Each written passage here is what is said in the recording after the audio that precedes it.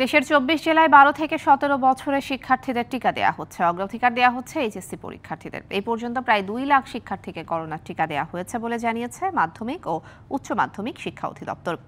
যাদের মধ্যে প্রায় চল্লিশ হাজার এইচএসসি পরীক্ষার্থী। এদিকে সুবিধাবঞ্চিত জনগোষ্ঠীকে সুরক্ষা দিতে রাজধানীর করাইলে দ্বিতীয় দিনের মতো করোনার টিকা দেওয়া হয়।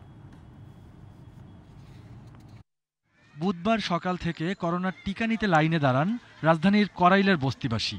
দ্বিতীয় দিনের মতো চলে গণটিকা কার্যক্রম।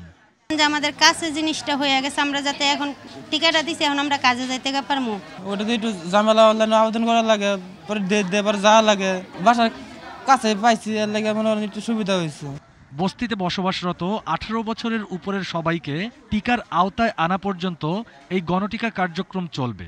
ধীরে ধীরে সব বস্তিবাসীকে টিকার আওতায় আনার পরিকল্পনা রয়েছে সরকারের।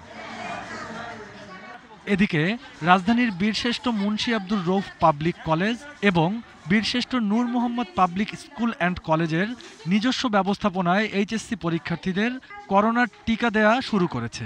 এই দুই কলেজের এইচএসসি পরীক্ষার্থীরা রেজিস্ট্রেশন কার্ডের মাধ্যমে টিকা নিতে পারছেন। ইনস্টিটিউশন থেকে দিয়ে দিচ্ছে সো আমরা বাইরে থেকেও যে ঝামেলাটা হতো সেটা হচ্ছে না। পরীক্ষার আগে পেয়ে গেলাম সুরক্ষিত থাকতে পারব হলেজে কোভিড আক্রান্ত হয়ে যাব বা এরকম একটা ভয় ভীতি কখনো কাজ করবে না।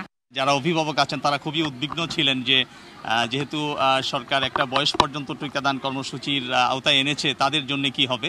তো সেই দিক থেকে তারাও আশ্বস্ত হচ্ছে আমরাও আশ্বস্ত হতে হতে পারছি যে তারা সম্পূর্ণভাবেই টিকা নিয়ে হয়তো পরীক্ষা হলে যেতে পারবে।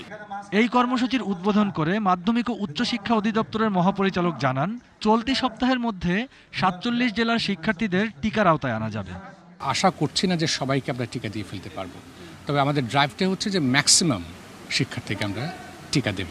এর মধ্যে বিশটি জেলায় গতকাল পর্যন্ত শুরু করেছি। আজকে আমরা আশা করছি আরও পাঁচটি জেলায় চালু করতে পারব। এই সপ্তাহের মধ্যেই আমরা প্রায় সবগুলো, অর্থাৎ সাতচল্লিশটি জেলার মধ্যে প্রায় সবগুলো জেলায় আমরা আমাদের কেন্দ্রগুলো চালু করে দিতে পারব। সিলেট ও চট্টগ্রাম বিভাগেও শিক্ষার্থীদের করোনার টিকাদান শুরু হয়েছে। সিলেট বিভাগের সাতচল্লিশ হাজার সাতশো এইচএসসি পরীক্ষার্থীকে ও পর্যায়ক্রমে বিভাগের চার লাখ শিক্ষার্থীকে করোনার টিকা দেওয়া হবে। চট্টগ্রামেও দ্বিতীয় দিনের মতো এইচএসসি পরীক্ষার্থীদের করোনার টিকা দেওয়া হচ্ছে।